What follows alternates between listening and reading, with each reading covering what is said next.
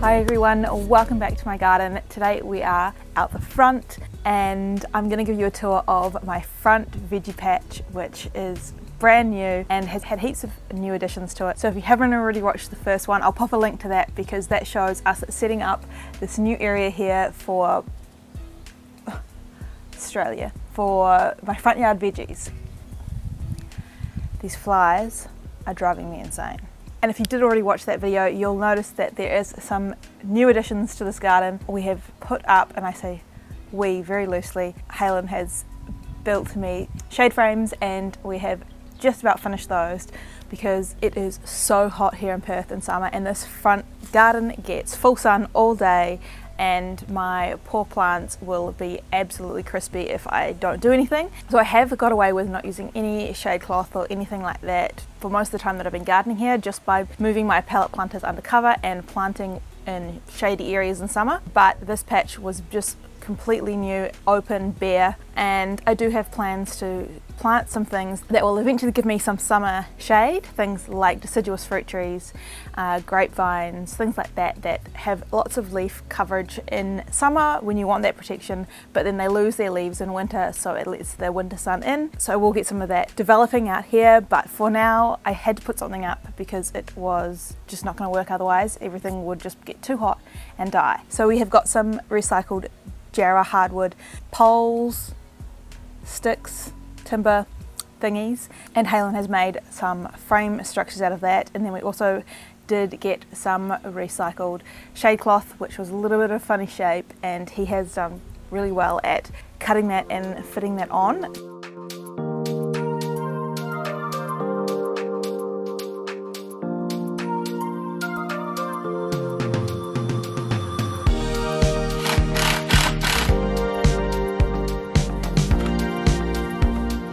So we aren't going to put it on all four sides. The sun rises here and moves across the house. You can see on this one here, we're only going to put the shade on this side and the back side, and that should pretty much well cover it for most of that harsh sun and the rest of it won't be so bad. So we'll see how that goes. So we've got a top, the morning sun here and then the afternoon midday sun on the back side. So that should get them pretty well protected and we can get lots of food because I want this front veggie patch to be really productive. I'm gonna get a lot of things that I can preserve, that I can gift, that I can trade, and really boost my self-sufficiency and grow more of my own food at home. So this summer season, I'm really concentrating on tomatoes. I've planted heaps of different varieties of tomatoes and I wanna grow an abundance of extra tomatoes that I can preserve. I'm gonna make tomato chutneys. I wanna make my own tomato like sauces and preserve those tomatoes so I can use them throughout winter. Oh, and I also really want to make some sun-dried tomatoes. I love sun-dried tomatoes. They're super expensive and I am hopefully going to make my own by dehydrating them and then we'll um, preserve them in some oil. So I'm really looking forward to doing that. But yeah, so I've got tomatoes planted in here. I'll give you a little bit of tour about everything that I've got growing. Some of them are looking a little bit sad because they haven't had any shade cover up until now so they have been getting super hot and a lot of their leaves are struggling with that. Um, but I have been giving them a really good drink of water to try and keep them going while they didn't have any shade but now they should be alright and I can reduce the watering. I've got lots of mulch on them so let's take a look. Alright so in this one we've got tomatoes I've got um, I planted all of these from seed but then I didn't transfer the labels. So actually I'm not really sure what's growing in here. I know what varieties I planted, I just don't know which ones are which, but it'll be pretty obvious when they come through because some are yellow, some are purple, some are cherry tomatoes, so we'll just have to wait and see. We've got some strawberries here, which I'm hoping will be able to cover this area here. Um, I've planted in some marigolds, which are really good for natural pest management and keep the bugs away, as well as attract pollinators. And that's another reason I didn't want to fully enclose them because I do still want to attract the pollinators to the garden so they can all come in from this south facing part here. And yeah, I've got some basil planted in there and that will really bush out and um, take up that space. And a tip for the basil is if you pick out the top here like that, then it will send off two side shoots. So you end up with a much bigger, bushier plant and heaps more basil.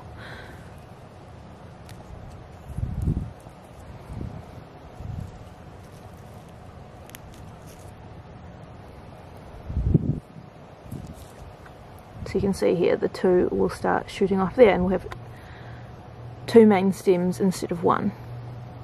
And then once these tomatoes get a lot bigger, we can cut off these bottom lower limbs um, so they don't touch the ground and give them some good airflow. And that will give more space for this basil to grow. And that's another marigold. Over here we have capsicum. This one over here we haven't quite finished yet. So only two of them have the back covers on at the moment. And I did the two that have the most tomatoes in them. So this one's still got some room in it. As you can see, this space here is bare, but I have lots of seedlings that I'm currently growing. So I'm just trying to be patient and I'm gonna leave that space available. And some more flowers, basil flowers and tomatoes and a few capsicums and a lot of flies. So this one is pretty full, lots of tomatoes, some corn, and we have a melon. And I did put the label in there. That is a honeydew melon, and that would have been really smart if I had put all the labels in with the plants, but you know, I like to just wing it. This one here is looking pretty good. I have been coming out here and keeping on top of pruning off the side shoots or the suckers. So that's where you want to pull off those little ones that grow out of the armpit because otherwise the plant will go wild and you won't be able to get a nice tall upright structure. I have missed a few obviously. This one here is a side shoot that's grown too long um, and I could either cut that off and, and put it in a jar of water to regrow roots or I can just leave it. I don't mind them having a few side branches, that's no worries. And yeah, again, a bit more space in here, ready for some other plants that are yet to come. Marigold, capsicum, tomato, zinnia, another zinnia. So those will grow quite big and have lots of flowers, which will be really nice and another capsicum. So my thoughts are if I were to plant here some either some deciduous trees or a grapevine, but I think that might be too heavy for these structures, but some sort of deciduous plant here to block a lot of that summer sun and let the light through in winter. So I also have to stake my tomatoes and those are what I'm going to use um, because it's been really windy and I've had to tie up some already, but I need to get the rest of them tied up so that they don't blow over because they're getting really tall now and they need that extra support. Things should be able to grow well now that the weather is heating up. We are already in the 30s I think it was mid 30s today and tomorrow is going to be 37 so it is already so hot here in Perth and our summers tend to be really high 30s mid 30s and then we get blessing of 40s and over 40 which tends to be on Christmas Day and around Christmas we get um, a lot of the 40 degree days. So those really hot days that are just consistent every single day um, really make my gardens struggle through the middle of summer and I've got a lot of tips on my website for keeping plants alive in those really hot periods. So check those out if you're interested and I'll definitely make some videos as I go along with how I am watering these and how I am keeping my plants alive. Oh, flies during these really hot summer days. So I'm just going to take out this one. As you can see it's growing in like the armpit, this one and this one here and I just chuck them so we've just got that one main leader that will keep growing up and then I'm going to cut off some of these lower limbs to clean that up and just tie this up because we do get a lot of wind here and my poor tomatoes have been getting blown around. So that one's nice and tidied up now. I like to trim my tomatoes, everything below the first set of tomatoes.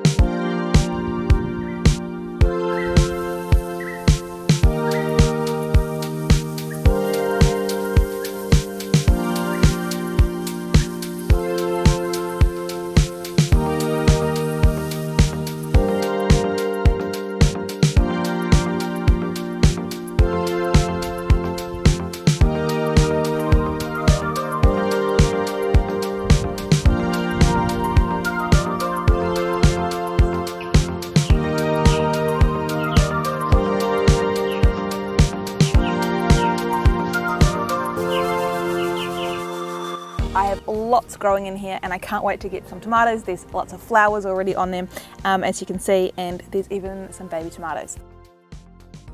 We are fingers crossed going to get a huge abundance of tomatoes, basil, all the summer things that we can then preserve and I will definitely show you how I do that as I go through the process. So um, make sure you subscribe if you haven't already and I will see you back for another video.